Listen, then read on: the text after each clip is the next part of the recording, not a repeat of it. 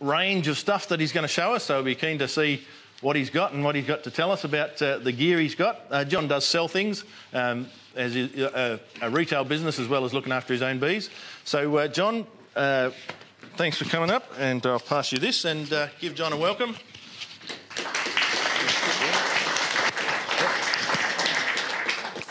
Thank you. Thank you, Phil, and good afternoon, ladies and gentlemen. Um, just a bit of a background. My father was a beekeeper, a hobby beekeeper. He's uh, had other beekeepers within his family. Uh, when he was a teenager, he went to visit cousins that had bees up on the Murray River. There were farmers come beekeepers up uh, near Albury, and he saw uh, he helped them take honey off a big red gum honey flow. And so after that, he was very intrigued with bees, and so he got his first hives at 17. uh, who he bought off his uncle. And his uncle was a commissioner for the railways. And during the war, it was a good thing to keep bees, and they encouraged people to keep bees. And Uncle Len would write articles to put in the paper because they, the army or the military effort needed beeswax for their coating their ammunition and putting in the uh, bombs. They set the uh, explosives with beeswax around it.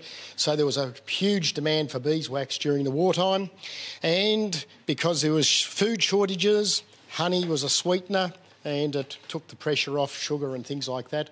So they tried to write articles to encourage people to grow veggies in their backyards and um, have bees and things like that, um, which should be a good thing. Uh, I was only told yesterday, and I don't know how true this is, that some of the new subdivisions around Geelong, there's a clause in there that you're not allowed to grow your own vegetables in your backyard. So I didn't, I didn't know that that was happening because they're building the houses with such minimal backyards, you'd probably be battling to build, uh, grow anything anyway. But anyway, so we're going to see whole changes in the future, I think. Um, so anyway, Dad got his first two hives and uh, he was so intrigued with them, he looked at them every day until he killed them. so, lesson learnt don't go opening them up every day to look at them. So, um, he then went up the street to another man whose name was Emond, didn't have the DS on the end, and he bought some hives off him and he started up. And then uh, down the track, he built his hives up to a, a few, and um, he was a teacher and uh, he married mum, and they moved uh, his first school by himself as a country school. It was a one man school at a place called Ruby, which is halfway between Leongatha and Korumburra. And so mum and dad and all these bits and pieces were all loaded up into a truck, and uh, off they went down to the school at Ruby. And during the unloading, the removalist man slightly knocked the lid off a, a beehive. He was, he was unaware that he had beehives in, as part with the furniture. And as a result, he, he abandoned it, so Dad had to unload the removal van himself because he wasn't going back in there with bees. So uh, Dad kept bees down there, and of course, I was born down there at Korumburra. And um, one of the stories uh, of recent times, Dad's starting to fail. He's 90 and a half. Uh, but I took him down to the uh, beekeeping group at uh, Leongatha. We got there a bit early, and in the dark, we're sitting there. And in those times when he was a beekeeper down there, he was basically he was the only beekeeper to speak of in that area. There was very very few beekeepers, and uh, he was known as the beekeeping teacher. Um, and uh, we sat out the front, and anyway, about a few people came along before the doors were opened, and Dad said, Oh, well, you'll have six people to uh, hear you talk. Anyway, of course, when the doors opened and everyone turned up, much to his amazement, there were 60 people in the room, and he couldn't believe it. There could be 60 people in Leongatha wanting to, to have bees. But anyway, he told a story about the school had a horse yard for the kids used to ride their horses to school.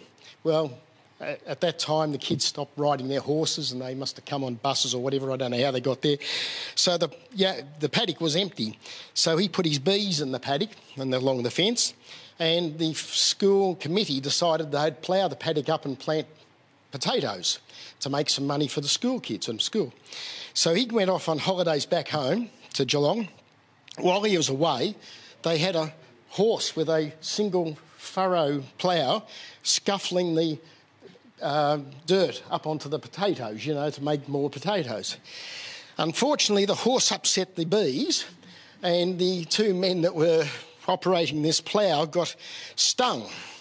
One of them got stung so badly around his ears that the ears lobes swelled up and hung down to his shoulders. so, so uh, I always thought that was a good story. but you know, you drive along and you say, Oh, I climbed up that steeple and got a swarm out of there. And I think, God, you're mad. Nowadays, you wouldn't be allowed to go up there and do that. But anyway, so then we moved back to Geelong because that's where my mother's my mother's people were from Little River, and Dad's family had always lived in Geelong West, so we went back there. Um, and he used to commute up to Melbourne on the train each day for school, and then come back. Uh, three years in Melbourne, then three years back in Geelong. And uh, that's what happened for many years, and then he became principal of Corio South, and he, that's where he pulled up stumps at the end and, and bought the property next to mine at Mount Duneed and he spent his retirement there. Very handy because he was nailing up bee boxes and frames and everything next door, so it was very, very handy. Um, we, worked, we kept bees together for a long time. When I first started working, I started for Hawkes Brothers in Geelong. You may remember Yarra Junction Hardware was Thrifty Link. Uh, Otteres were Homestead. I don't know if they're still there. Uh, Timber and Hardware was Thrifty Link. I used to come up here as a rep and uh, help them with their hardware needs. And then eventually they were taken over by John Danks. And so I worked for Danks for 11 years. And then one day I just said, I turned 40 and I thought, if ever I'm going to be a beekeeper, I've got to jump now. So I'd been building up the bees, building up the bees, and was a bit like foxtrot one step forward, one step sideways, and one step backwards, or something like that, or two steps sideways. So, anyway, you, I found that I couldn't be a commercial beekeeper while I still had employment, and corporate world was wanting more and more out of us salesmen, and they were sending me to Tasmania and places like that, which made it very, very hard to maintain what I was doing with the bees. So I, I jumped and I had a part time job for Mitre 10 store in, on weekends in Geelong for a few years, and that paid the groceries while the business built up enough that I was able to jump. And now I have something like eight part time or casual workers. Um, two of them are five days a week, and the rest are generally one or two days a week, depending on what jobs and what work we've got. So we, we make honey, we make queen bees, we package honey, and we have a salesman who goes around all the shops around Geelong and environs, Bellarine Peninsula and uh, coast, and we sell our own honey as Edmonds honey and Geelong honey to those areas. Um, and the business is just slowly, slowly just gets a little bit bigger each year. And about four years ago, five years ago, my friend Leon Layton, I'd been importing bee boxes from New Zealand because they were the best quality pine boxes I could get. Um, and he used to get them off me and sell them to the little beekeepers around the place. And I used to import, or still do, import plastic frames from New Zealand as well. And so we'd been working together. And one day he rang me up and said, Come and see me. And I went out there and he said, I only got two months to live. I've got uh, mesothelioma. And sure enough, two months later he died. But just before that, we did a deal and I took over his bee supplies business. That was just before the boom, and so since then it's been rather hectic with people all coming in wanting bee suits, gloves, smokers, and, and bee boxes already made up. Uh, some people go and make them up themselves, but most of the people I find come in and buy them uh, off the shelf pre made. There's a reason for that because we wax dip and paint the boxes as well. So, therefore, if you wax dip your boxes. Now, I was going to show you something with this other box uh, the box you saw before with the handholds. Um, one thing I'd suggest you've got to be careful of is you either wax dip the box in hot wax, which is not all that easy if you haven't got the equipment, but buy some copper naphthenate from a wattle trade store. I don't even know what they if they still call them wattle trade outlets, but put copper naphthenate underneath there because um, when I first started, I didn't have a handhold machine to put the handholds in and I put the cleats on. But the problem with the cleats is they rotted the box underneath. And so, therefore, you must have copper naphthenate or hot wax treatment so the boxes don't rot. The other trick too is if you look at Queensland and that where they use them all the time, they put the cleat up here. This is the weakest part of the box along the, uh, the rabbet. And so by putting it up there, you strengthen that and they're less likely to break off or whatever. But they also use loaders, so the loader slips underneath and it lifts up, and it's it's um, easier when it's up along the top. But um, cleats are a good idea, and uh, they don't really take up any more space on the when you're moving, because I use spring clips, and I have to allow for that. And all my bees these days go on a uh, on pallets and get lifted up with a loader, because uh, I've now got a new hip so, um, man of steel. It's a bit of a it's a bit of a problem when you go through the uh, the detector in Melbourne, and I can tell a bit of a joke story about that recently. Getting back to the, the real story. So, what happened is many years ago, we just operated ordinary full depth equipment, like probably most of you do. And I happened to be, would have been 30, 40 years ago, I suppose, thereabouts, visiting a beekeeper in Geelong and he had all these interesting size frames, including one that was this size. And it had a, it had a big patch of brood. This is just one that's been kicking around. Had a big patch of brood like that. And I was intrigued and I said, gee, I said, Peter, what's this? And he said, that's a jumbo frame. And he was a school teacher at the uh, tech school and he was a Englishman, and he'd given the kids all a project. Every kid had to make up a different hive. All the hives you can get from all around the world, you know. So they had, you know, every British one. The British have got huge numbers of different hives. So they made up all these different hives, frames, box, the whole bit, and he put bees in them. And at that time, he had permission to put them in the Geelong Botanic Gardens. So they all sat in the botanic gardens. You'd walk around, look at the flowers and that, and you'd spot the bees just at the back of the beds all around. And he said to me, of all the hives he made, this was the most successful and the one that made the, the best bees and best honey. So, well, oh, so I was intrigued, you know, went in there and never went any further. And beekeeping's a bit like that. You get snippets of ideas everywhere. Don't forget them, just remember them, because some stage down the track they'll make sense and it will fit together in your little jigsaw of what you should be doing. Many years ago, I heard a fellow called Ian Fenslow give a speech, a, a retired commercial beekeeper now from Bendigo. Wrote down copious notes, went home. That was as much as I did. 10 years or so later, I was cleaning up and found these pieces of paper.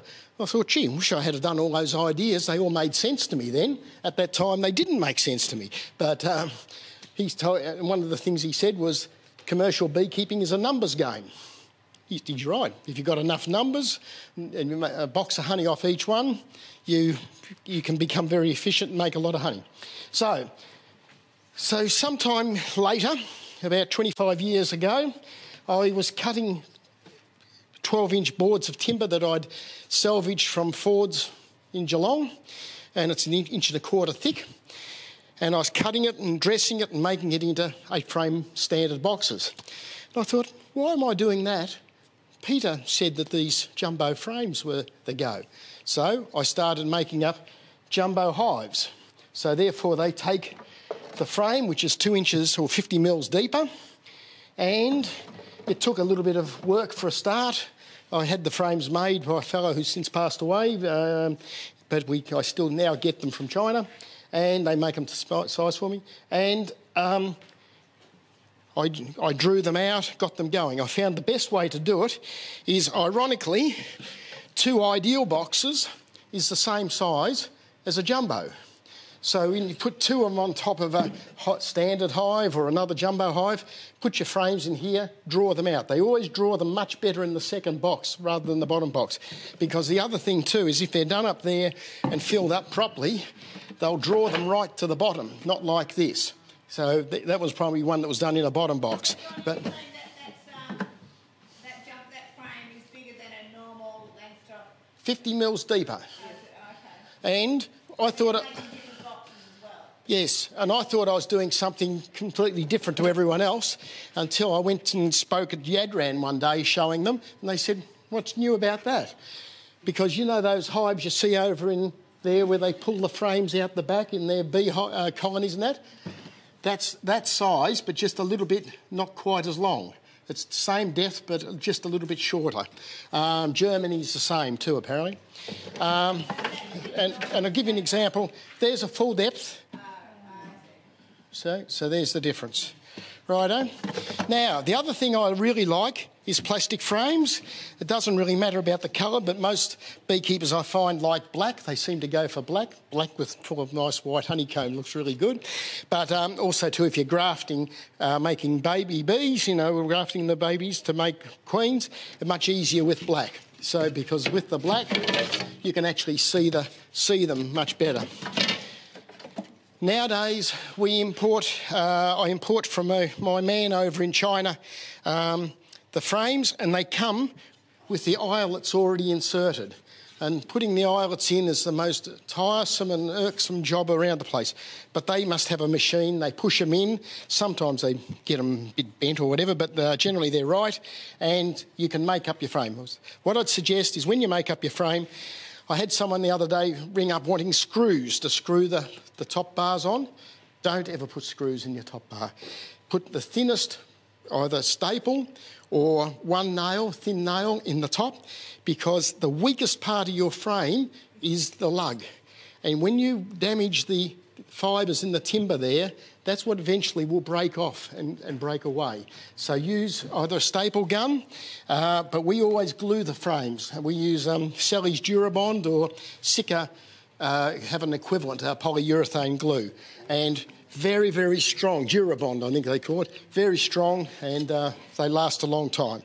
Um, now, but what I... What, yes?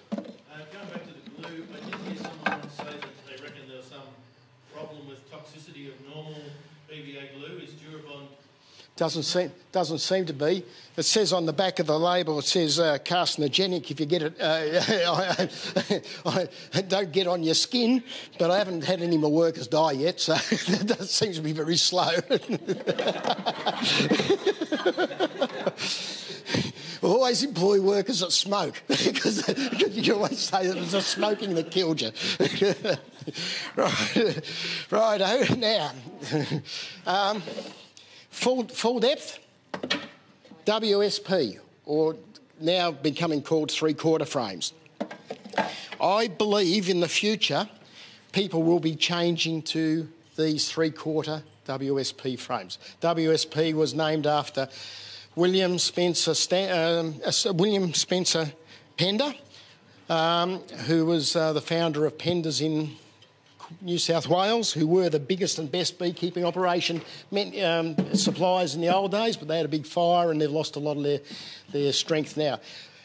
But the reason I say that is in New Zealand they're changing over to this size because of Works OH&S. The weight factor.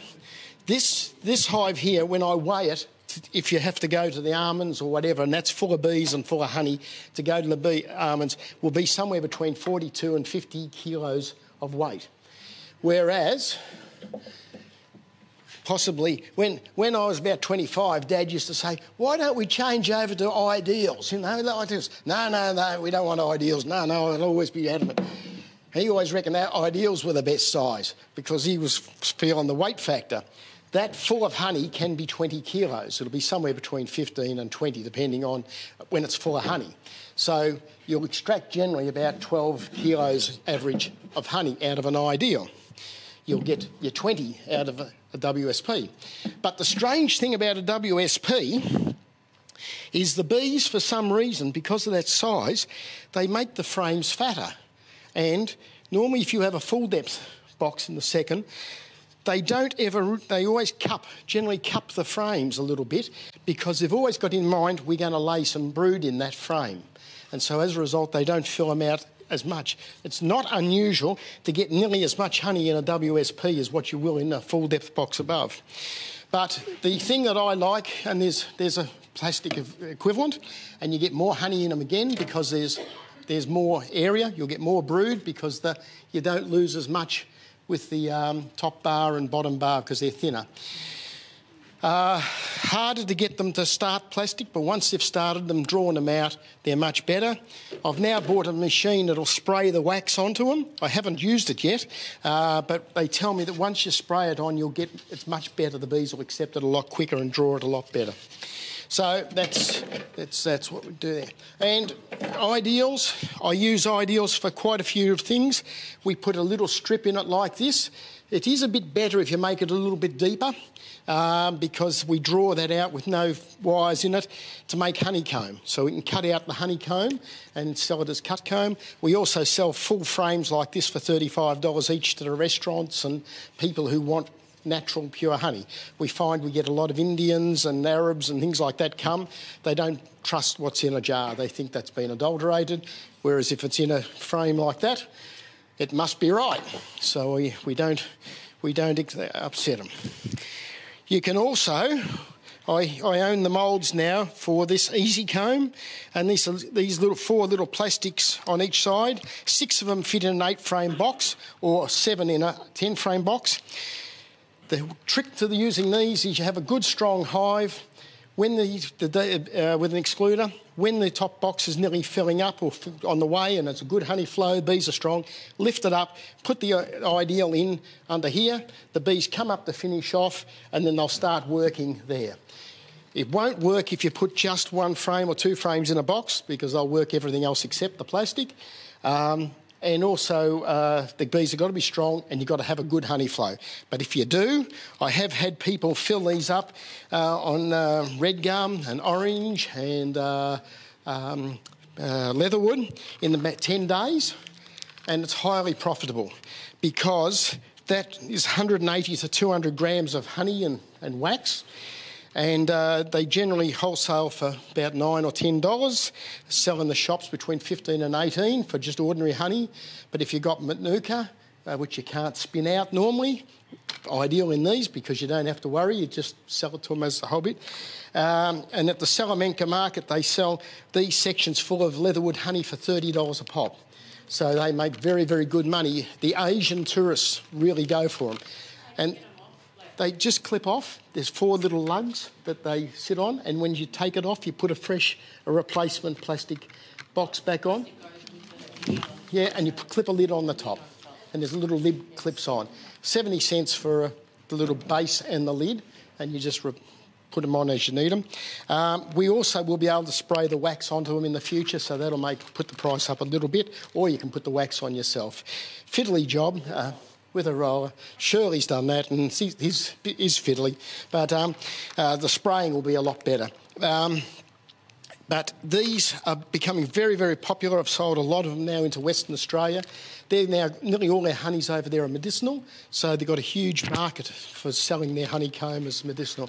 The other strange thing is because you don't cut it, or tamper with it, or alter it, it doesn't go candy as long as it's not canola or some one of those things like that, but just good ordinary honey, two years later will still be liquid because you haven't fiddled with it, you haven't altered it, yeah. Um, just you've mentioned spraying wax a number of times, like yeah. with the boxes and then also these. Yeah. How do you sterilise it so that disease isn't spread? Um, basically, disease isn't spread in beeswax, you'll find. Um, Laurie Braybrook's 94 now, and he was the senior apiary inspector for years, and he looked and looked and looked to try and find whether AFB was spread in beeswax. As long as the beeswax has been melted up and, and cooked, it, the heat actually kills the, the, the kills, yeah, kills the uh, spores. They never ever were able to say the beekeeper got AFB from that beeswax foundation. They always found that the heating process. He also believed that the, the spores got coated in the beeswax and that smothered them somehow and made them in, inoperative to, the, to transferring disease. Uh, the wax we use for sterilising the boxes is actually microcrystalline wax. I don't use paraffin wax. Some people use paraffin wax, some use half paraffin and, and micro wax. Paraffin wax is, melts at such a low temperature that on our hot days it disappears and it'll leach out of the boxes and disappear. Whereas the micro wax we bring in is a melting point of 70, so If it gets to 70, your bees are going to be cooked, uh, but the wax will still be there. So, um, so uh, that's the excluders I, I bring in from New Zealand. You might see equivalent Chinese ones. I don't recommend them because after about five years they go brittle and break and, and go funny. These last for a long, long time. Uh, I've had these for years and some of them are sitting out in the sun where they shouldn't be and whatever. Um, and they work really well. The first, how I got onto them is I was at a New South Wales conference, and at that stage they were sending uh, bees to Canada. Uh, I think they still do, but I'm not sure. Package bee business. They had to strain the bees into the packages through excluders, and they told me that these work the best and quickest of all the excluders on the market. Um, so that's why I bought them. I find they're good, they're easy to use, uh, and you don't have to worry about sticking your hive tool in and bending the wires. Quite a few people now get excluders. They bend the wire with the hive tool, and then they're not an excluder anymore, are they? So these uh, work really well, very forgiving. Now, I was um, very interested. Oh, no trouble, just run a, a, a um, scraper over them. And if they're really dirty, just put them in um, some uh, soapy water, real, get a big handful of um, Rinso, Momo, put it in the water. It turns the, uh, the beeswax into soap. Hit them with the karcher, they come up as brand new. So, no problem at all. Now, I, I was very intrigued listening to you talk about hive mats and things, a subject that I very dear to my heart. Now, because it'll lead into another thing. For some time, we have been using these pieces of plastic, which are cut to the size of the whole box, a bit around the edge. And we leave them on the hive for most of the year, uh, probably in future all of the year. Um, but in the past, we always put them on for winter. The bees, if they're put on early enough in the autumn, will propolise the plastic all around so it becomes completely sealed. The other reason for it is when, you know, in your house, in a shed like this, on a cold day, you get condensation underneath. But if you have a ceiling and an air gap in between, you don't get the condensation. Moisture in the hive is detrimental to your bees. So that's why people in the past have always had small hive mats for the bees to cluster under. This, I pinched this idea from Canada. And I see that they've actually gone one step further now. And when I go over there to Apimondia in September, I'm going to find out what they actually are using. But they actually have a blanket type of mat now that they can peel back, and it must have a lot of insulation in it because they have a lot of cold uh, issues over there. What we do is, as well as that, we have the silver paper, which we put on the top down in the winter time to reflect the heat back into the cluster of bees, keep them warm, and in the summertime to reflect the heat back out from the bees. And if it's a windy day, I'm sure you'll hear the swearing up here. you sometimes have to have two hive tools, one on each end to make sure it doesn't blow away before you put your uh, lid back on or whatever. So uh, that's the only thing that's a bit of a problem is, the, is what happens there. But, uh, but I do think it's a good idea. It's entrapment of air. Because what happens is when the bees get in a cavity of a tree or in the house or whatever, they always get up to where they can get the top. So they, they build down because they live in a bubble of air and they stay in that bubble of air, they can control it with their bodies and their hairs on them and whatever, and they, they take turns of standing on the outside. And, you know, the, uh, some of the bees are designated to be heater bees, and they consume uh, honey to make their wing muscles vibrate. They can unhook their wings and they vibrate their, their, their wing muscles, that generates heat. And uh, if you want to see an interesting article on that, Nikolai Felzin uh, down at uh, Dingley, he's got terrific uh, photos of it. He's used a heat camera, and you can actually put the cursor on the little dots of white or red or yellow, and it'll tell you the temperature of the bees that are the heater bees. And they actually, uh, the hottest one's about 43 degrees in there, warming the hive up. When you see a comb and you see the empty cells that are interspersed through the comb, that's where the bees actually go in and they stand in there and they vibrate to warm the brood, keep the brood warm. That's why the, once the bees start making brood, then they start having to keep themselves warm. To keep themselves warm, they've got to then consume honey. That's why it doesn't pay to try and stimulate them and get them going too soon. And I'll lead to the, onto that story in a minute about what could be a problem. Um, so now the other thing too is you had the empty box that you didn't know what to do with on the top. Quite simple. We just fold the corner back like so, or you can pull it back and leave just a bee space on the end. We generally have our queen excluder on the top as well, like that. And if the bees want to come up around, they'll come up. If they don't want to come up, they stay under here and stay warm.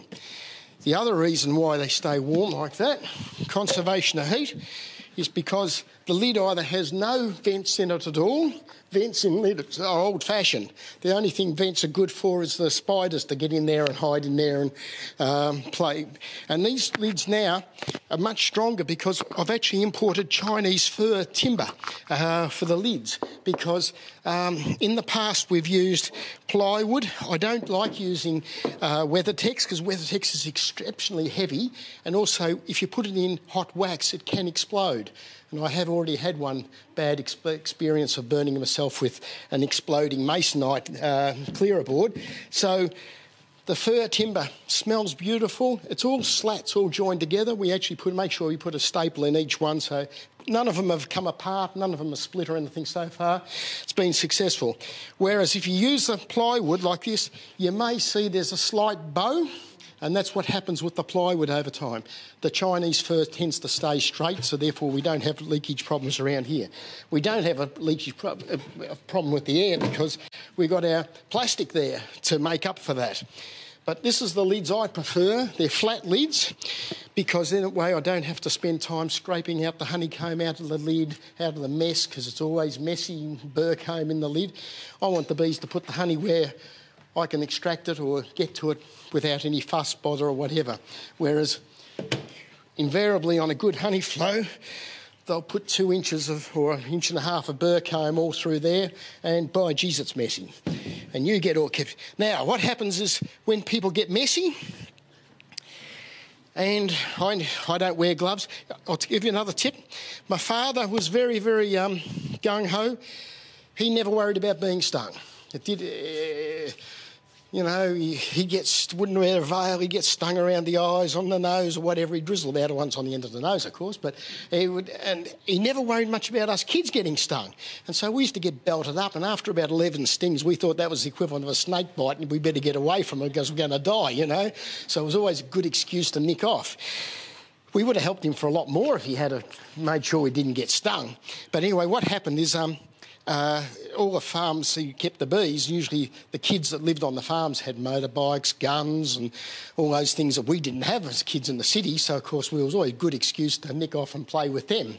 So, but Dad never wore gloves, never wore veils much, and tended to get stung all the time. He just thought it was part of it. When we'd drive along in the old car, you know, he'd have the back seat out. You know, the, the police would have a heart attack these days. Pull the back seat out, no seat belts all the bee boxes stacked in the back with us kids perched up on the top of them.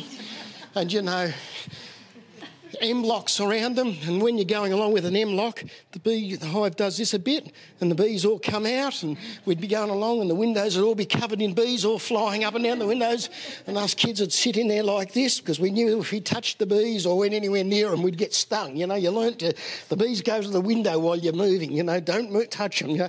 Even a dead bee can sting you. They look dead, but they yeah, they look dead, but they're not. They'll, they'll get you. Anyway. And, and in those days, you'd go to the service station and they'd fill the car up for you, wouldn't they? Well, you would have seen the look on their face when they'd come out to put the petrol in. Shit, bees! All going up and down the windows. We just, just, just, it was just a normal thing. We, we, we learnt to live with it. You know, we had bees in the backyard all our lives. That was another trick Dad had. We had a big shed, oh, similar to this, and it had big doors like this to open up, or at least for wider than a car, and he'd put the bees along beside those doors, and it had a gap about six or eight inches along the bottom. So the bees all flew out. So when he wanted to work on his bees, he'd just open up the doors and work his bees, and they'd fly and whatever. When he was finished, close the doors, and the bees would go in. All the neighbours and that, you know, we never had any complaints because they couldn't see the bees, so they never complained. So if, you, if you've got problems in uh, keeping bees in an area, build a shed with doors and, a space underneath them to fly in and out. It works like charm. Um, you're saying about insulation. I've never worried about the handholds um, nowadays because the timber is about an inch and a quarter generally. It's a bit heavier, but that's not a problem. We used to hand load the bees in the past or then use the loader, but we often, Dad and myself, would get one end, end of a hive each because it was quicker than using the loader kept us strong, I suppose. That was an Armstrong method. But nowadays it's much better. I just I often load up a load of bees, you know, in 20 minutes, 40 minutes.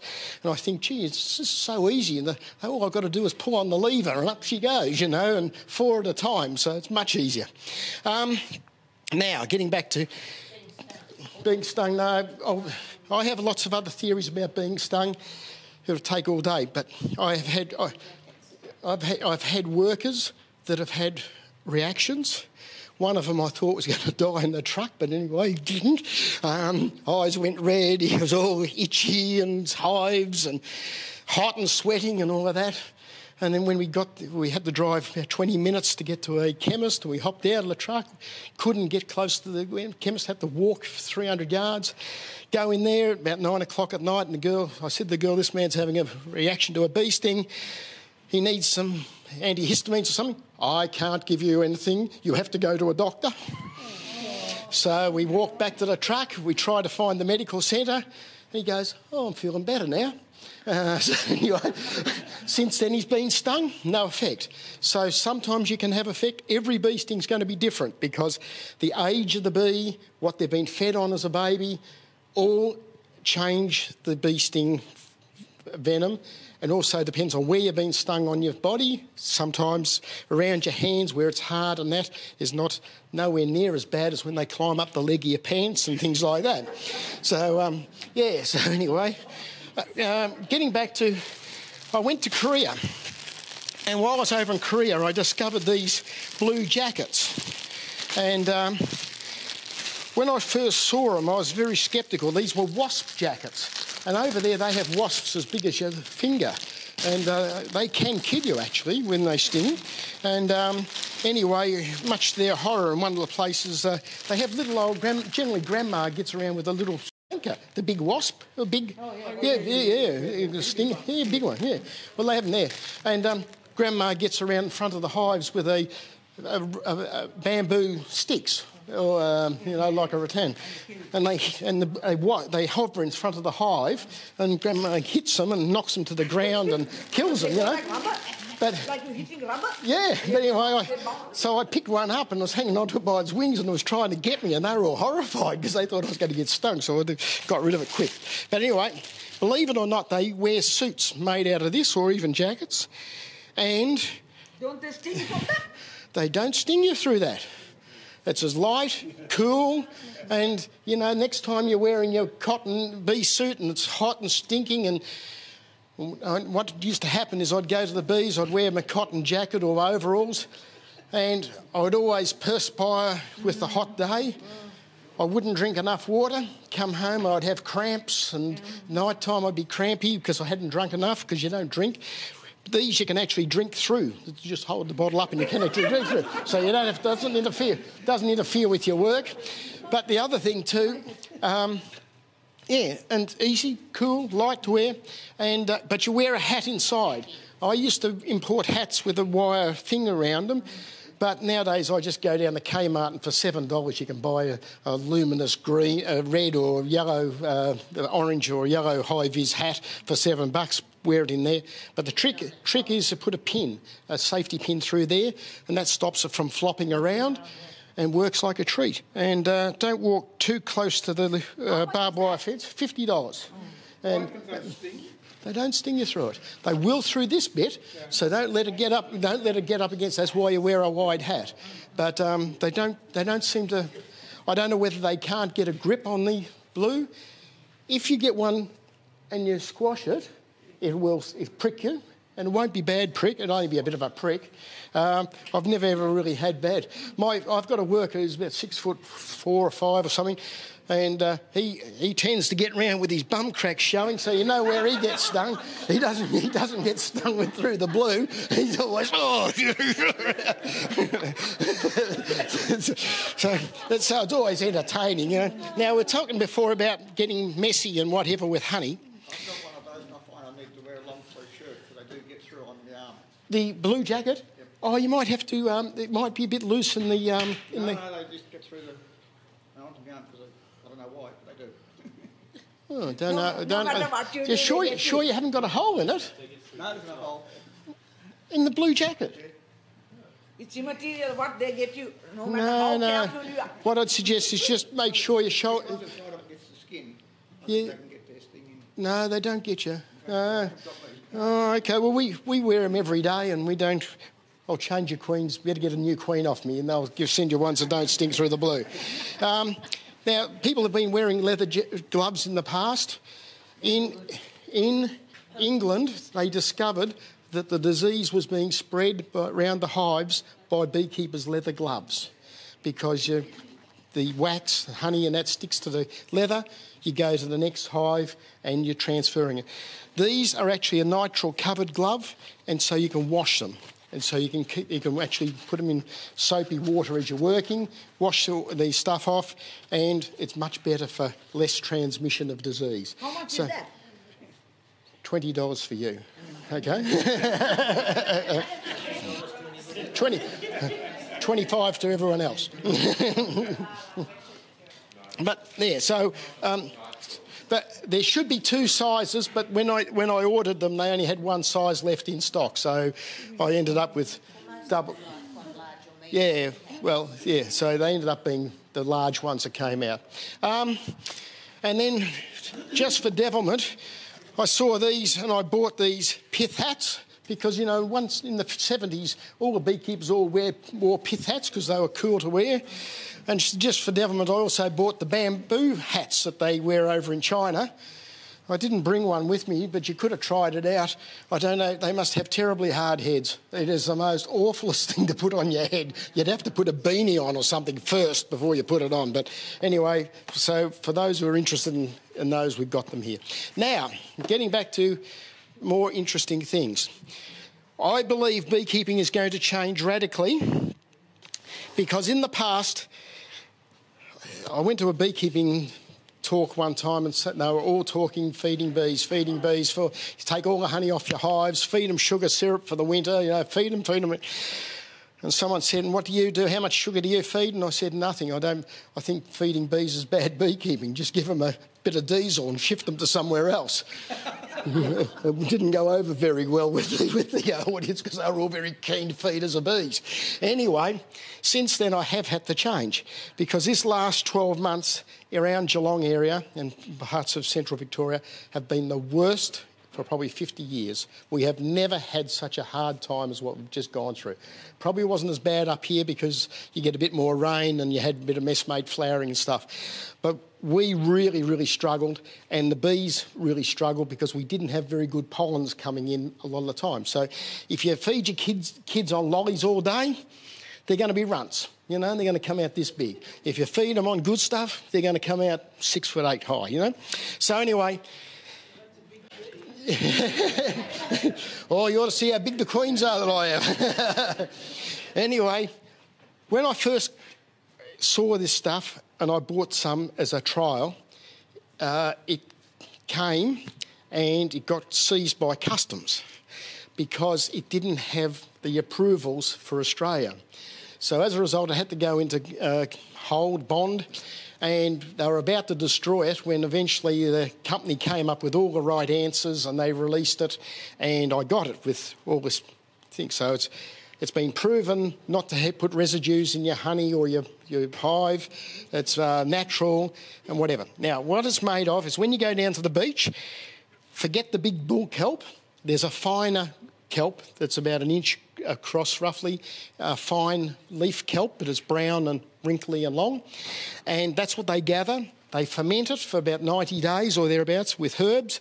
And the originally they were making it as the equivalent of maxi crop, Seasol, those products to put on pastures in New Zealand to grow crops and things like that.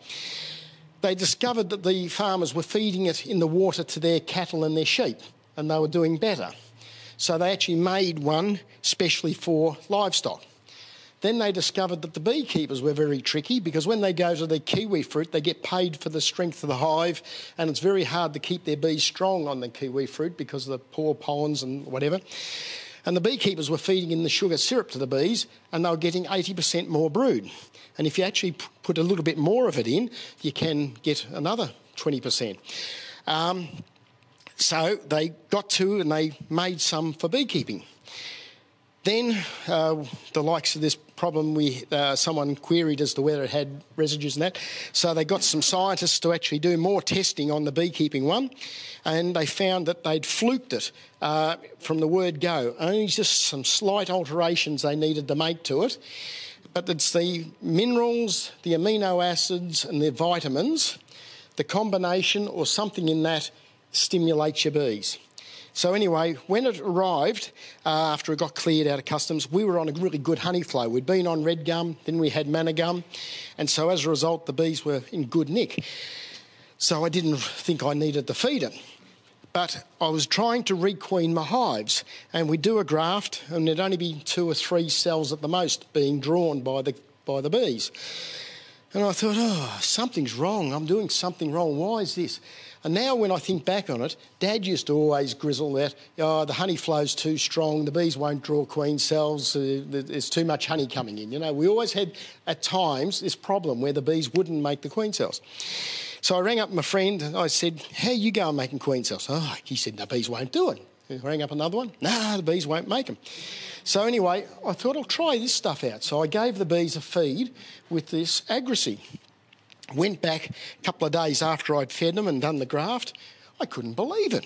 Bees that wouldn't draw them the week before, full bar, might be only one cell missing. Everyone you put in. I thought, wow, there's something, something in this. Australia's soils are old. They're lacking in minerals, they're lacking in things. Our bees have, have been bred or were evolved in other parts of the world where there's different things in the pollen. Our bees are living on eucalypt pollens and stuff like that that weren't that haven't evolved with our bee. So there's something missing in the amino acids or something. And the and so anyway, we started feeding it to the bees when we make the queen cells. Not only do they make them more of them, but they make them bigger and they come out really big. And, you know, a commercial beekeeper was down one day and I showed him the cells. He said, I've never seen cells so big. I said, that's what they do and that you feed them with the sugar syrup and amino and uh, the AgriSea. So, anyway, that was the year before. Last year, we were ticking along, everything's good. And at this stage, I hadn't been feeding the breeder queens. And with at the end of February, January, we had a dearth. We really, you could make cells by feeding the sugar syrup and AgriSea, but it was, it was hard going. What happened is I went to graft this day, and the bees were wanting to rob, and oh, everything was going wrong. And you couldn't graft because the bees, was, the grubs were so dry; they were very hard to lift off the out of the combs. So I thought I'd feed the breeders. So I gave for the four breeders on the on the pallet all a litre and a half of AgriSea sugar syrup and um, uh, 20 mils of um, AgriSea. I came back the next day and I could not believe my eyes. All the grubs were floating on milk, a big layer of milk. Anybody could have grafted them, even a kid could have grafted them. And once again, back, we were back in business. It was obvious that there's something in that that at times, even when we think our bees are going well, they're, they're missing something. So I've been selling it mainly well all over the place. Uh, and basically, I can post out the one litre and five litre. Um, the 20 litre has to go with Fastway. Otherwise, if you want the 100 litre and bigger, you've got to come down and pick it up. Anyway, so it's been going to New South Wales and uh, Western Australia, all over the place, all over country Victoria. Werribee the other day, a fellow came up to me and he said, I've got my bees in my backyard at uh, Keilor and I've been feeding this through the winter. I said, Oh, yes. He said, My bees are triples. Do you think they'll swarm? Oh, I said, I know they'll swarm. so I'd, I'd advise don't feed them to the bees in the winter time. You know, give them a feed before we knock off in, in say, late May, a couple of doses, and the, it appears one of the things that happens with it is it gets rid of the nosema. So in New Zealand, they give them a couple of feeds in May before the bees go to bed, and then they give them a couple of doses about now onwards. As soon as you see the pollen coming in, because it's a waste of time giving it to bees before there's available pollen. And I was at a meeting where a fellow explained that even with sugar and stored honey and whatever, the bees still need pollens and things to synthesise the, the pollen to be able to make it into food for their bees. And that makes sense to me because, you know, like you can be on good conditions and yet you can have weak bees. What you see in your beehive now is what you'll see in three months' time. You know, if they're on good condition now, well, they'll be good in three months or two or three months' time. There's a time lag, and that's why people go to the almonds. Their bees have had a bad autumn on sugar gum or something like that, low quality pollens, nothing much. They go up to the almonds, bees all fly out, and in four days, they've only got half the bees in their boxes, and they all scratch their head and go, oh, what's happened? That's why I think this stuff's going to really come into play. Uh, in the next four, four, three or four years, we're going to need 300,000 beehives to pollinate the almonds there's only going to be one way we're going to be able to do it. That's going to be by feeding bees uh, supplements. How do you put it in? How sugar syrup. Ah, put it in the sugar syrup. Yeah, and you can use a feeder like this, right?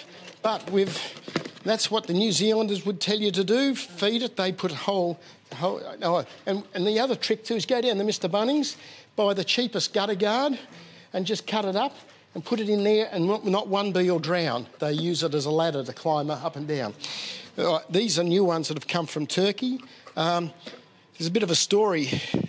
You, you think, you think uh, in Turkey they must use um, Dadant-sized frames because I bought those plastic boxes, and the idea is the frames sit in them, but they're that much too short. Uh, we use Langstroth, which looks the same, but must be slightly different in size. Um, so, yeah, so that's one way, but we've got a better way. You know, Australians' ingenuity is, you can't beat Aussies for ingenuity. And a beekeeper worked out you can put it in the water and spray it. And when he works his hives, and we've been doing the same thing, you go down to Mr. Bunnings and you buy a garden sprayer, one of those little pump up sprayers. You put the it doesn't work with sugar syrup because it won't spray very well. But with water, you pump it up with uh, 20 or 30 millimetres to the litre of water.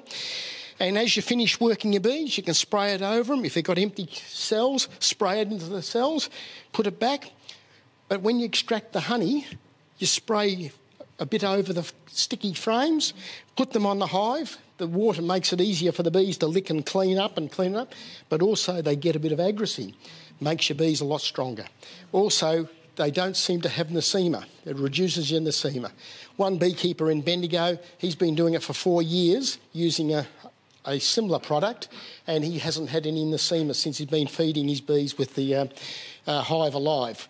The Hive Alive comes from uh, Ireland. It's more expensive and it's smelly because they put thymol in it. They put thymol in it for the varroa. Well, we don't have varroa, so we don't have to worry about that. So, I've learnt not to believe everything that's on the internet, but I saw a video one time on YouTube and they got the beehive and I, I, had the good fortune some four, four years ago, five years ago, I must have been, to go to Turkey. And I went on a beekeeping tour that went up into the mountains and we saw the original Caucasian, grey mountain Caucasian bees.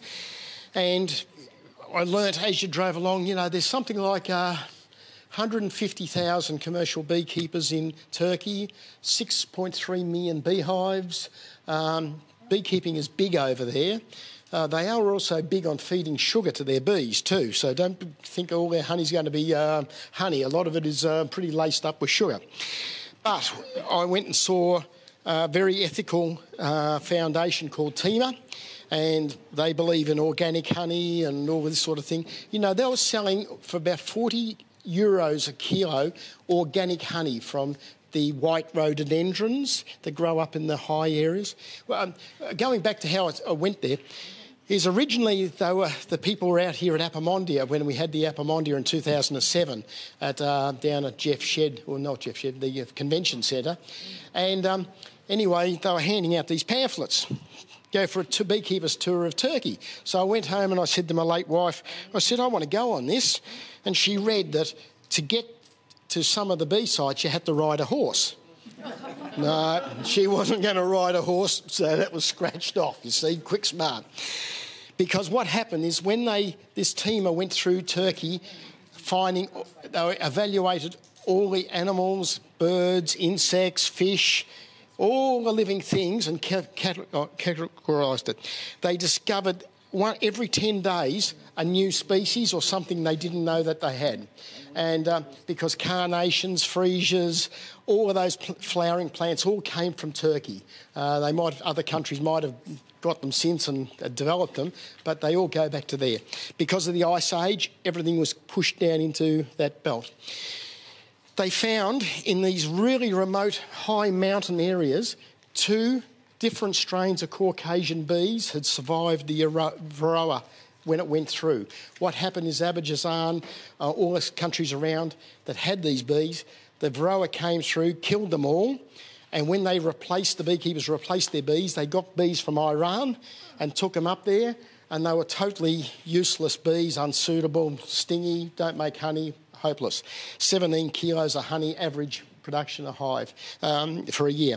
And the centre of um, um, Turkey has a bee called the mulga bee and the Anatolian bee. Once again, breed like stink, swarm like anything, but don't make much honey. But these grey mountain Caucasian bees, and I'll tell you a story about this. We had them in Australia years ago, and, we, and I'm sure they were the same thing. They were called Everett Hastings Caucasians. And I was only kid, about eight or ten, and Dad used to take us up to Glenrowan because Linton Briggs used to organise the field days up there. And in the middle of the cricket pitch in this big oval, there was three hives set up. I look back on it now and I presume one was the Caucasians, one would have been something else, and the others were bright yellow Italians. So we get, I wander over as a kid and there's beekeepers standing there looking as they usually do before the main event. And uh, the bees are flying, and anyway, the Italians are zipping in and out, and the, probably the Carniolans in the middle are going in and out, and that, and these Caucasians are just slowly going in and out. So anyway, so someone said, "Oh, I don't think they're much good. These bees are Briggsies, you know, they're not flying much.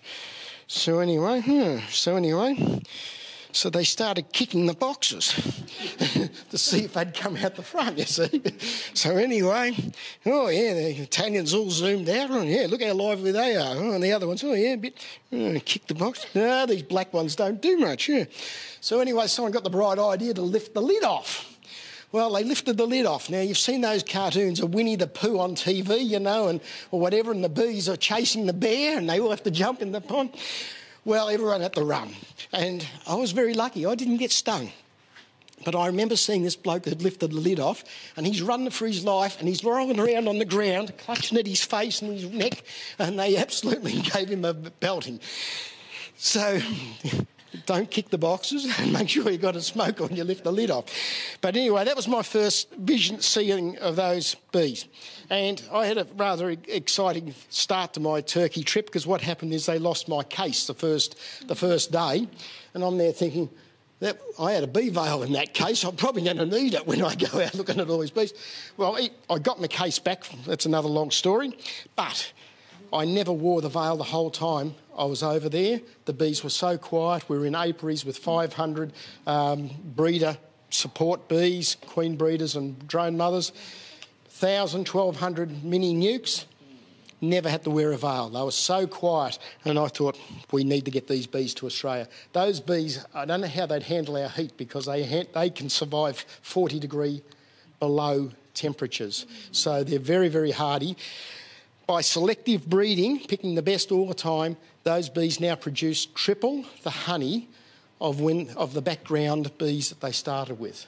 If they go to the villages and look at their bees and compare them with these ones that they've selected, it's uh, three times more honey production a year. So now they're distributing them to the beekeepers all through Turkey.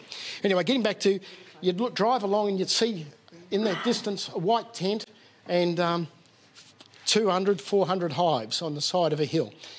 And I always wondered why everywhere we went, we'd, we'd go and see the imam and we'd be, you know, yapping away to the imam, and I thought, geez, these imams are very important over here. Well, Turkey's still tribal. And so what happens is the imam that runs this area is the man who says you can put your bees over there, you can put your bees over there. So they have to go to them and and get the permission. So that's why. Yeah, same sort of thing, but it's the imam. So, it, so we're always going to see imams. Anyway, and that's how they get their bee sites. And um, anyway, we'd look for that. So on the YouTube, I saw where they got one of these products. They put it in an empty box in front of this 400 hives or whatever, put it there. And I don't know whether it's slow motion or trick photography. Anyway, you watch it for a few minutes, and then all of a sudden, a swarm just goes straight and into the box. And I thought, well, we'll give it a try. So I've imported some of this spray, and this one, you, What is the yeah, you, you put your hand there. No. Yeah, you'll get a swarm. You'll catch a swarm. Lemongrass. Lemongrass. lemongrass, it's there. And that's as, as a spray. And this one is in beeswax. And you saw me before hanging on to it. You, you have to soften it before you can then apply it to the inside of the box. At this stage, we haven't used it, so I don't know whether they're going to work, but they're both, they're both different formulas, but they both have definitely have lemongrass in them. So that seems to be the magic stuff. Um, has anyone got any questions about what I've been waffling on about? You want, and you know, you know, over in New Zealand, some people drink 10 mils a day in their orange drink. They reckon it's good for you.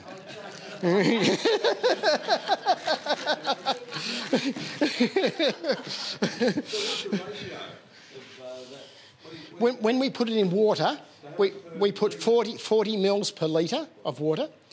And in sugar syrup, we do 20 per litre, but in New Zealand they put 30 per litre. But it seems 20 to 30 per litre seems to work. Um, I think they usually do about two feeds a, a, a season, you know, at, at, a time, a week or two apart. But um, when I make up my queen cells, I do one feed of about a litre the day before to prime the bees. It, it, seems to make them make royal jelly. It, it stimulates them. It's the amino acids, I think, that does it. And then for the till they seal up the cells, I try to make sure they've got uh, some in there all the time. So generally every day or every second day, I just top up uh, about another litre of it. Does anyone have any idea what these are used for? No, no. I, I didn't know until a, a British beekeeper came one day and showed me. Um, in Canada, they use them as clearers. They make up boards and they have them like this so the bees go out and they can't find their way back in. But uh, people use them to catch swarms. And so it's much easier to have a, a bucket, you know, like a uh, 20 litre, 25 litre bucket. If you're going to climb up a ladder or whatever, shake the swarm in, few land on the ground. And they had four of these, drill a hole and put them in so that they're like that. The bees go in, they go into the bucket, generally around the bottom, go up and cluster at the top and you can come back an hour later or whenever, just pick the bucket up and take it home. And you can probably drive along and they're not going up and down the windows either. a big advantage. Well, the queen would have to be in the bucket. You'd have to shake, you shake the majority of the bees in the bucket, and then the, the rest will go in. But that's what they use. So you just drill a hole, put that like so, bees will go in, and they don't come back out. And so, uh, but I'm sure that beekeepers are being very inventive. They'll use them for getting them out of walls of houses and all sorts of things as well. So uh, there you go. Now, oh, something else. I forgot to bring something today. Now, has anyone got any idea what this is for? Are. This will try your imagination. It's, uh. These when, when, when, when, when we make our queen cells or use our queen cells, I've always mainly used the plastic cells, um, and uh, they work all right in that. But I am conscious these days of doing things as natural as possible. And what I discovered is sometimes when you put brand new queen cells, the black plastic ones, the queens wouldn't work them. And you had to put them in the hive for a day or two for the bees to clean them up and whatever. My guess is they probably used some sort of recycled horrible plastic and put black in it to hide whatever it is, and the bees go, don't like that. And so as a result, they don't want to make coins. So when I was in Turkey, I noticed that they always all used natural beeswax cells. But they're very, very hard. You know, you can get like a pencil and dip it in the wax, dip it in two or three times, then try and get it off and all that. Very slow, very hard work, even when you had a thing that did six at a time. And I invariably broke them in water. But I discovered these silicon moulds. And what I do is I get in a warm room and and I just get a teaspoon of I have the fry pan with beeswax and I just give it a teaspoon at a time into the little mould, give it a little tap so it all goes down around it and it cools very quickly and you can do that and you can pop them out and you've got perfect little um, wax queen cells that you can do your graft in, perfectly natural, and hopefully it'll, it'll all work better. But anyway, so we, we've now got those two. So um, now, has anyone got any questions? I'm sure you're full of questions. Oh, I forgot the main thing. You're right, I do use open bottoms. I'm glad you're here. Oh, jeez. Uh, you can come and help me all the time. Hmm.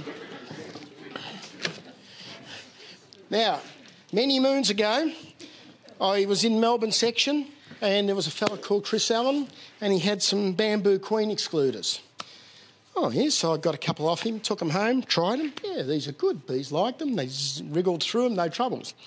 So I said to Leon, who just started business then, I said, get me a heap of these. So anyway, he got them in from China. So straight off down to the bees, put them on the bees down at Torquay, box on. It was uh, about a month later. Don't worry about your bees swarming. They don't generally swarm much till September onwards, and you're probably a bit colder than us down there too. Our biggest problem nowadays is canola makes our bees swarm, and in a lot of cases we can't get away from the canola.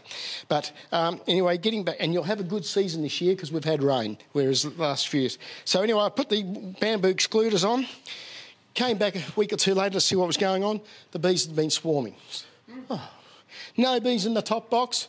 Most of them are swarmed. What's gone wrong here? And I was just standing there looking, and I could see all the heads lined up looking through at me, but they couldn't get through. Oh, so anyway, go home, measure them. I said, Leon, they're too small. They were for Asian honeybees. The Asian honeybee is that much smaller, just a little bit smaller. Yeah. So he said, burn them. Well, my sneaky worker made bird cages out of some of them. but I made, oops, I made bottom boards out of them. Because what I found since is screen bottoms like this work really well, and there's big advantages.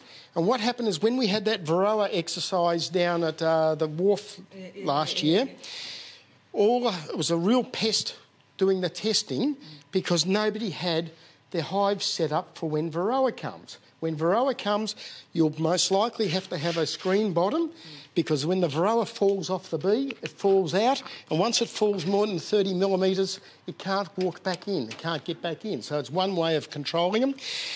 The other thing, too, is since then, um, if you're going to put strips in, you need to be able to put a slide in like so.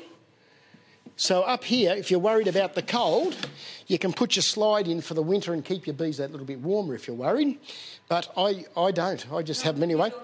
And, yeah, you have your ear. And when you do your testing, you'll be able to put your sticky mat on here, do your test, pull it out, see how many Varroa you got, and that'll determine as to whether you've got to test your bees or not.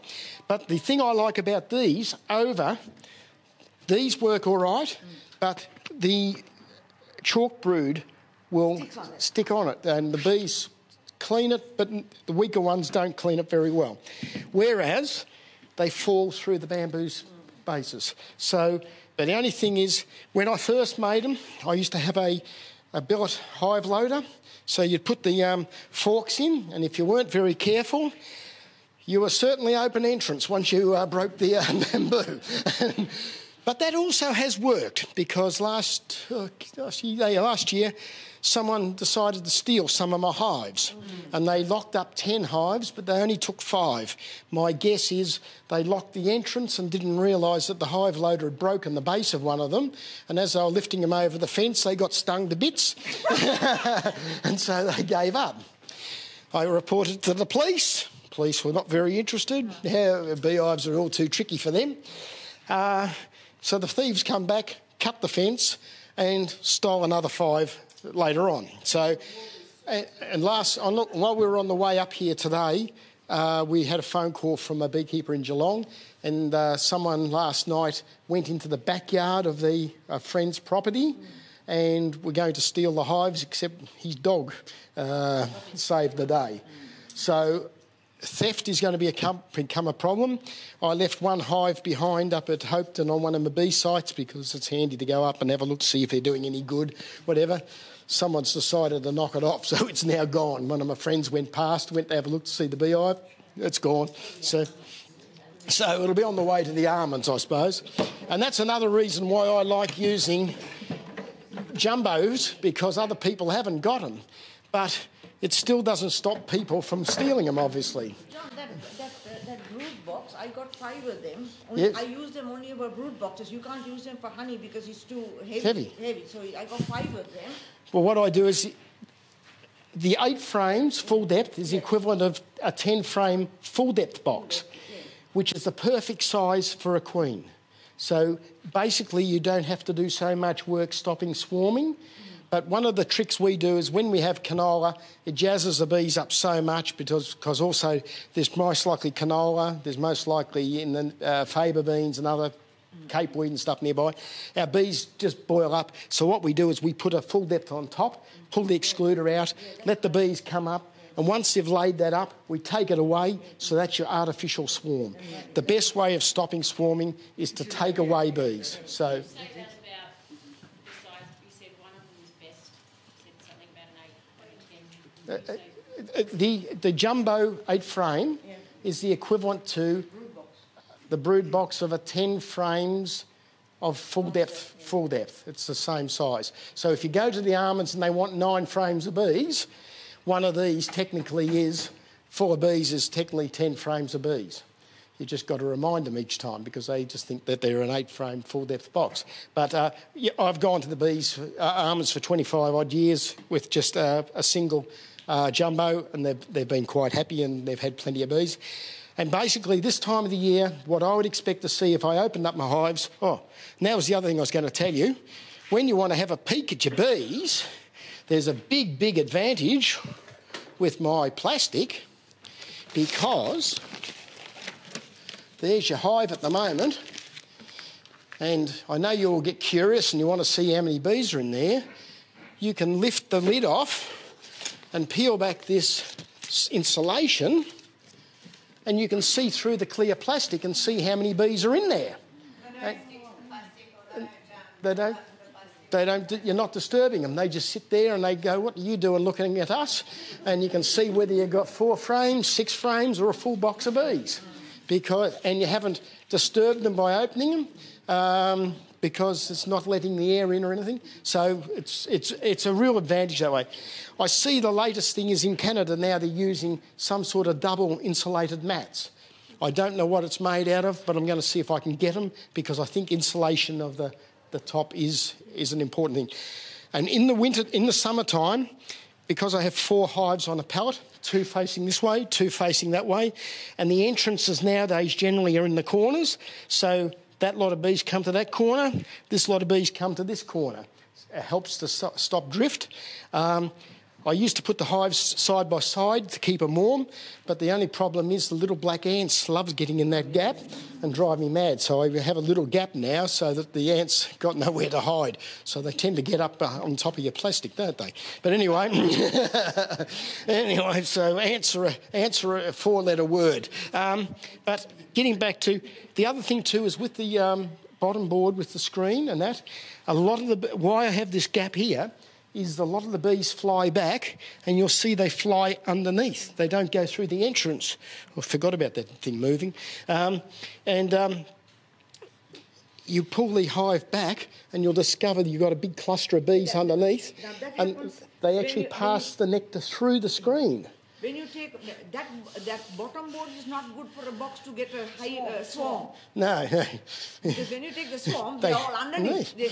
they, and you rest the box. And That's they're what. not inside. That's, outside. Yeah, and that's why it's that's why it's good to move when you're moving bees. You've got to do it when it's very cold, you have to or, or with a forklift, because you get a rather rude shock when you lock the door and you pick them up and you discover that they're all falling down your legs, your pants, because you've got a cluster underneath the underneath the hive. But They try that- to get into the because the queen is there. They try to get in from underneath, not from the. to them, that screen is not a barrier because they, they talk and, and communicate through it. When we're shifting, the bees will get under there and um, keep themselves cool so that they travel much better. You can lock you can lock the entrance, but they're getting plenty of air through the bottom. And in the hot weather up in the Mallee, what I do is I put um, cardboard over the four hives, and then I put an old pallet on the top, and that gives them a shade. Some places we put the bees, we haven't got trees for shade, they're out in the open, and the heat is the biggest. Bees can cope with cold, not a problem. It's heat. When you get 43 degree days and, hot north wind, that's the hard. That's what knocks your bees, and bees may take the rest of the season to come good after uh, getting cooked. Um, what happened this year is beekeepers went up to the northeast, put their bees on the red stringy bark. Most of the places up there, they've got to put them out in the paddocks in the open. They got those heat events on them, cooked their bees. Those bees are have taken all the rest of the year to come good again. So that's why there's a lot of weak bees. Some beekeepers have lost a third of their bees, commercial beekeepers, this last 12 months. John, with that brood box, do you have the second brood box on top of it as well, or you just have just one? Just, just once the once the swarming spring's finished, just the uh, there's just the excluder, and we use generally three um, uh, ideals. And when the top one is full, we put a clearer board in and just come back two or three days later and take the box off. put another bo- And- and then you put-.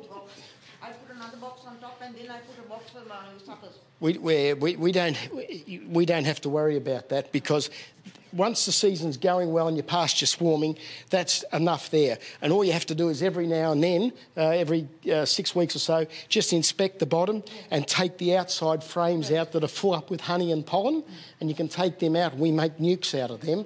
We take two out of each hive and to make another nuke because we need to keep making nukes all the time for our queen breeding because with your queen breeding, there's always some that don't take and whatever. Mm. And, and, and queen breeding is another whole, we could talk all day, that's another whole big session.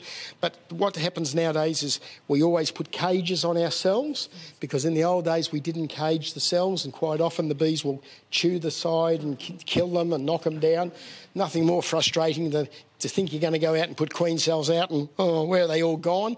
A virgin may have flown in from somewhere else and knocked them down, or the bees decided the weather's not right today and they chew down cells.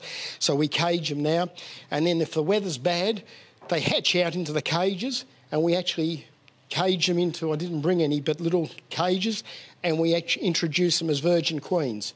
And we now have nearly as good a success with virgin queens as what we do with cells. And if you had said that five years ago, I would have laughed at you.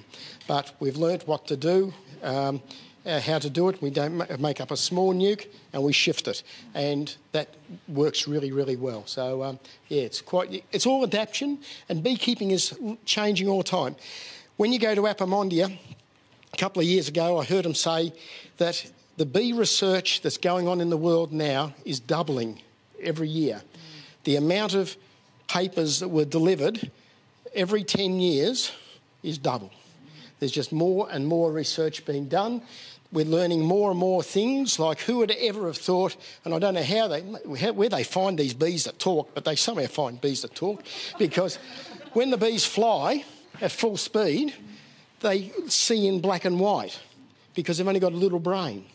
And when they get to where they want to go, they turn on the colour vision and slow down, and then they can see the flowers in colour. But they see blues, whites, uh, yellow. Um, that's why they're saying if you want to make your, uh, stop the drifting and sharp lines. Uh, sharp vertical lines or horizontal lines, those three little things on the top of their head, they actually see them better, black against yellow. That, uh, they really see that. And for example, shiny aluminium is the colour that they see the best, and that's a very vivid blue to them. They can see that. Um, it's things that we didn't know before. Um, I was going to say something else. And the other thing, too, is, you know, we think we invented the web, the World Wide Web, you know, computers all linked. Now we realise the bees invented it. Because when they come home at night, they go in here and they sit there and they, they all talk to each other. They can talk, they can vibrate, they can make pheromones, they can do all sorts of communication. And it's the wisdom of the hive.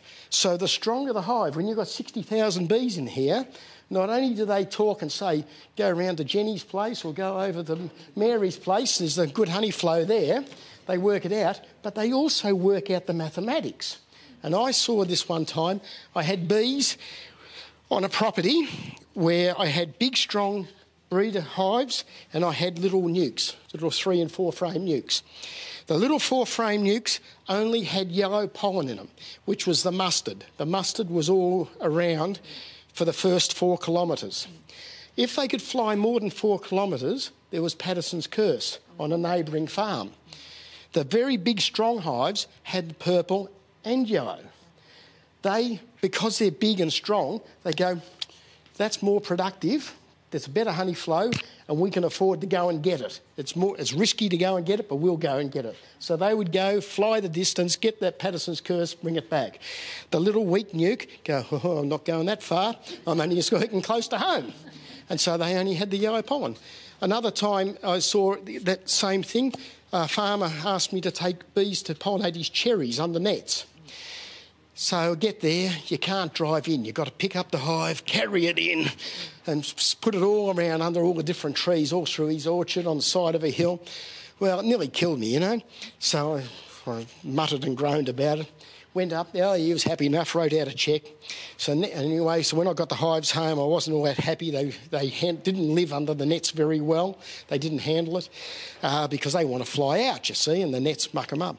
So anyway, the next year I said to him, I'll only come if I can use nuke boxes. I want to put five frame nukes in because in Western Australia they discovered a tube of bees with a couple of kilos of bees in a tube pollinated the cherries better than a strong hive because a small hive only flies a short distance. So if you put them in the middle of an orchard, they only go to the orchard.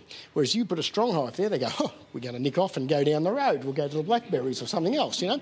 So anyway, I go up there, put all these nukes, much easier to walk in, put them all down amongst the orchard. And he's all very, mm, not sure about this. Uh, he's never seen nukes before, you know, this is not going to work. Anyway, came back. I got grizzles. You know what the grizzles were? There's too many cherries on the trees. you looked at the trees, they were on angles like this, and they were just like grapes, all the way up and down. Every flower those bees had pollinated because they were just little and they didn't go nicking off trying to go somewhere else and they just stayed in under the, under the nets. So if you want to pollinate under nets properly, use four frame, five frame nukes and you'll get to do a lot better job. You want to wind me up, don't you? I can tell. There's lots to learn with beekeeping.